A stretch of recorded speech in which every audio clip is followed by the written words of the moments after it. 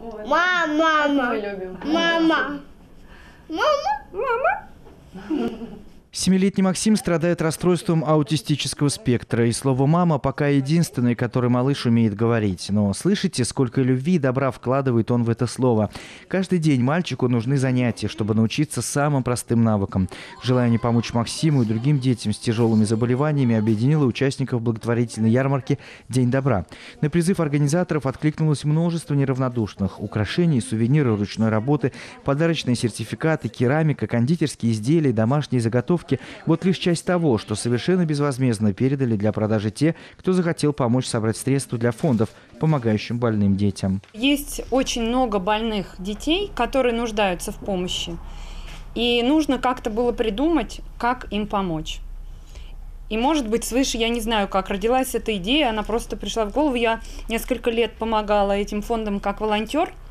Я понимала, что нужна какая-то большая массовая акция. Ярмарка «День добра» прошла в магазине «Керамиса» на улице Пескунова. На целый день небольшой магазинчик в старинном особняке стал центром большого доброго дела.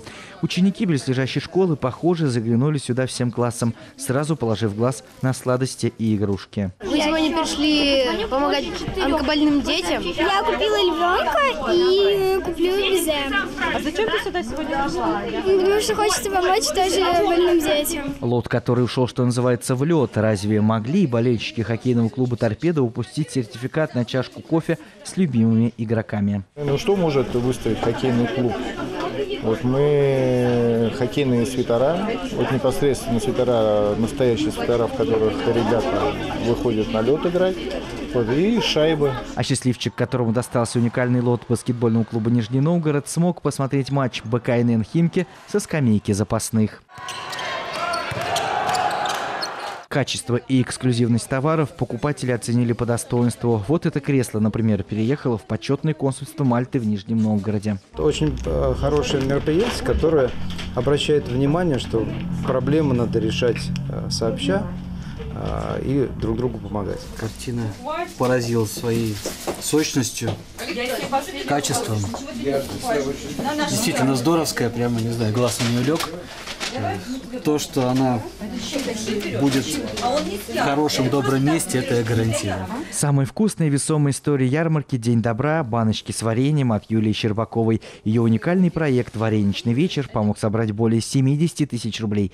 Всего же лишь за день ярмарка «День добра» собрала более 850 тысяч рублей. И деньги до сих пор продолжают поступать. Огромная всем-всем-всем благодарность. Ярмарка закончилась, но День добра продолжается. Посмотрите на фотографию. Кто-то из участников ярмарки выкупил и передал игрушку Лизе Филимоновой. В одном из наших сюжетов мы рассказывали вам про эту девочку. Она лечится от онкологии в детской областной больнице. Лизе и другим детям с онкологией помогает благотворительный фонд НОНС. Этому фонду организаторы акции «День добра» перечислили часть собранных средств. Помощь фонду НОНС сейчас крайне важна. Впереди декабрь месяц, там январь, каникулы, праздники, нам надо успеть закупить лекарства, потому что многие фармкомпании закрываются на новогодние каникулы. Если мы не сделаем это вот сейчас, то потом на январские, то есть праздники, дети могут просто остаться без лекарств. Собранные средства передадут фонду «Дети без мамы» фонду «Время рассвета», который помогает детям с расстройствами аутистического спектра. Максим, который умеет говорить слово «мама», уже год ходит на коррекционные занятия в центр фонда «Время рассвета». Раньше он вообще у меня не мог держать ручку никак. Сейчас он ее правильно держит, да, если вы посмотрите, он держит ее правильно, только ну, движения у него В нет. Центре «Время рассвета» сейчас проходит реабилитацию 45 детей. Еще 37 семей ждут своей очереди. Все занятия, подготовка к школе, адаптивная физкультура, музыка, творчество совершенно бесплатные. Спасибо всем тем, кто поучаствовал в этом замечательном Дне добра. И организаторам, и участникам. Спасибо за вашу искренность, за ваше тепло, за ваше понимание проблемы детского аутизма. Для нас и для особенных деток эта помощь бесценна. И благодаря вам особенные дети получат своевременную помощь в обучении, социализации и адаптацию в обществе. Организаторы благотворительной ярмарки «День добра» решили не ограничиваться одним днем и сделать акцию бессрочной. В Доме керамики теперь есть окно добра. Сюда по-прежнему можно принести что-то на продажу или купить что-то понравившееся.